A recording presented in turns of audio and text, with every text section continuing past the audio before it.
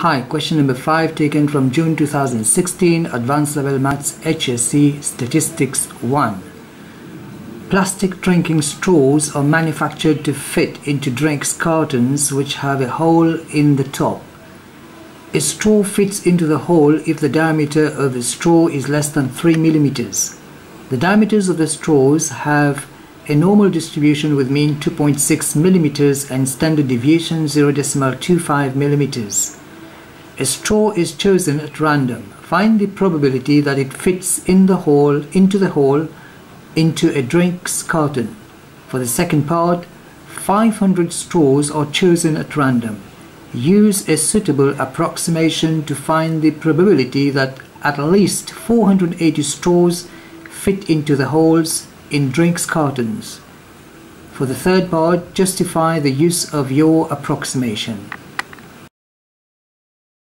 Okay, for the first part of the question, we need to find the probability that a straw will fit into the hole. That means uh, probability of x, the diameter has to be less than 3 millimeters. Basically, we have a normal distribution with 2.6 as the mean and 0.25 is the standard deviation. Therefore, p of x being less than 3, standard is going to be of is going to be equal to p of z being less than 3 minus 2.6 over the standard deviation 0.25 which is going to give you uh, P of Z being less than 1.6 so we're looking at the left hand side of the graph.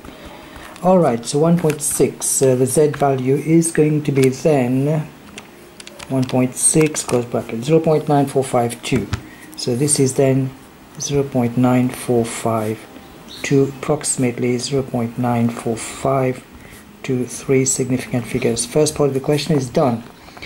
Second part, we have 500 such straws and um, the probability that they fit into the hole is uh, our probability of success 0.9452 probability of failure it won't fit 1 minus that one it's going to be 0.0548 okay so um, when we have a binomial uh, distribution approximating to a normal distribution we're going to perform NP, NQ, NPQ.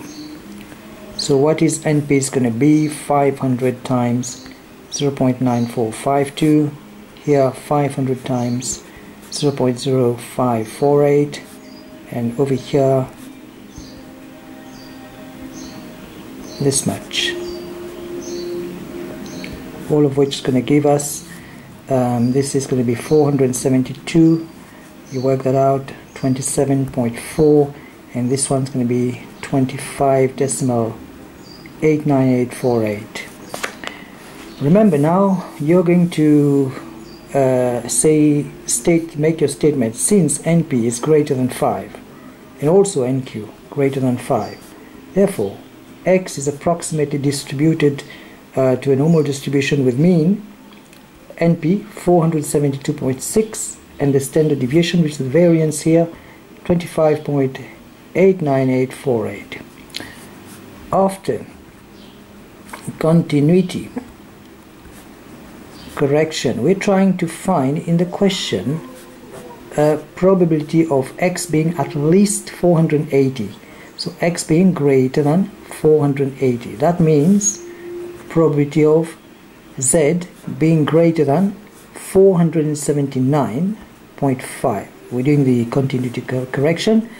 Minus the standard the mean mu 472.6 over the standard deviation root of 25.89848 you work that out and you calculate you're going to end up with p of z being greater than um, let's do it uh, this one if you work this out you're going to end up with 1.3 double five uh, 5096 and so on. So clearly looking at the graph okay we're looking at this part here. It's going to be 1 minus p of z being less than 1.36 so let's it on calculator can check it from your table of values as well. 3 to the right of the graph, therefore 3, and the value is 1.36. close brackets. Gonna give you hang on hang on. Uh, this much 3 so let's put the, the value like 1.355 85096 close brackets. Here we are. So that's going to give us 0.08757 so therefore that's going to be probability of x being greater or equal to 480 and the answer should be then 0.08757 let's just say approximately 0.0857 to three significant figures. And then for the um, third part we need to justify our use of the uh, what the question says justify the use of um, approximation. Now both NP and NQ turned out to be greater than 5 so this is our justification of uh, uh, approximation to a normal distribution. Take care.